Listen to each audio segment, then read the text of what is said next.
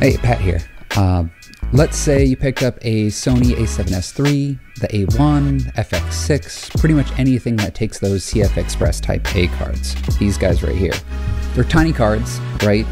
And I'm getting to a point where I have more than two, so transporting them is kind of weird. I like to carry around my SD cards in something that's impact proof and water resistant. I've got a few film shoots coming up where I'm gonna be on a boat, so it's just nice to have some spare media and it would be nice to not have to worry about it.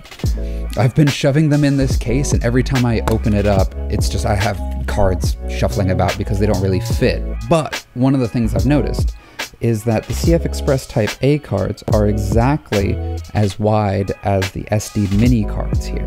Since the foam is laid in here in layers, it's really easy to just take a razor and cut out to the end of the, the foam insert. And now I can add my CF Express Type A cards in this Pelican case. A very simple modification, but as you can see, it's, it's holding true in, in the case here, so I don't have to worry about cards just sliding about in this holder. Simple little fix, but I think it's worth the five minutes to cut the foam out uh, and to have a case that I can rely on. Now I can have four spare in here, plus my um, SD cards. So if I'm going out for a long shoot, I got as much media as I can handle in a case that I can rely on. So yeah. Hope the video is helpful. It's just a quick little fix.